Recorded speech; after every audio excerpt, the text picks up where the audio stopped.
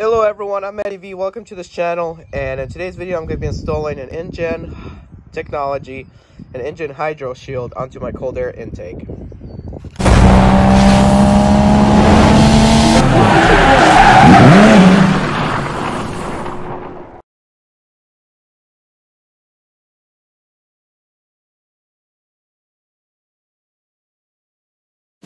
Okay, so the Injen Hydro Shield comes in this package just like so.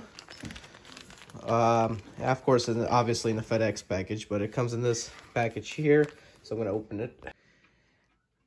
And this is how it looks like when it's fully extended out. That goes over your cold air intake filter. And I'll show you what this technology does. Okay, guys, so I'll show you how this technology works. I'm going to spray some water with my hand, not a full force, and just go over it. You saw that right there? It bounces right off. Watch this again. So, right here, and hold on. And it just bounces right off. So, the water, as you can see, it forms a bead on here, and it causes it to just come off and it'll protect your cold air intake and engine from damage. It's recorded.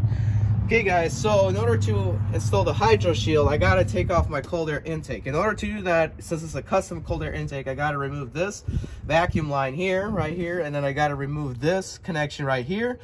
I'm also, that's where I have to put it on. So in order to put it on, hopefully it fits on this intake, because I ordered like the largest size possible. But uh, right here, I got to take this all off in order to make it work. And you need quarter and eight millimeters. So let's get to work and you might need an extender. So here we go.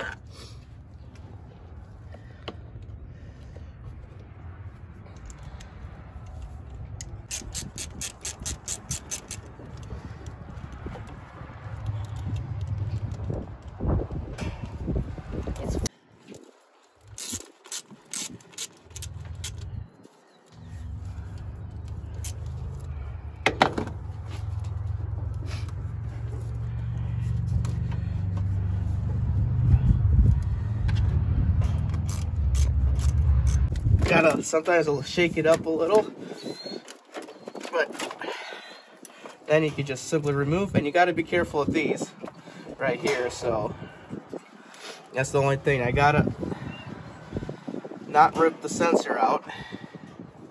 So in order to do that I gotta now take this off.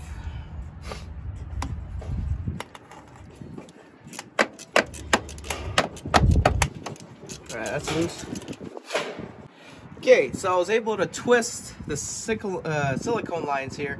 So the sensor is now facing so it's not stretched out and won't get burned up or anything. But, um, so you're gonna put it over the filter, all right, wherever the bigger end is, just like so, right over on here.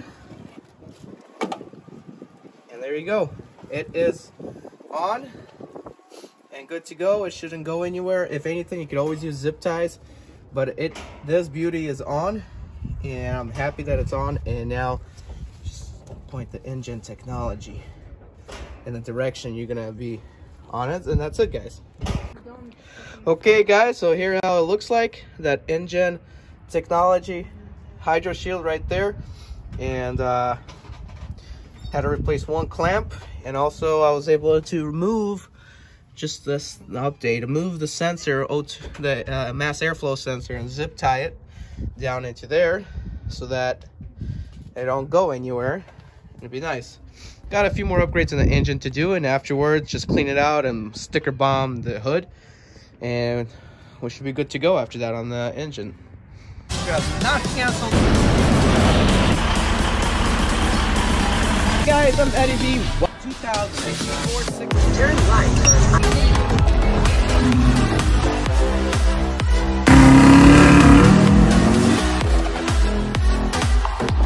This particular package. Drive and attempt on the 6 Series.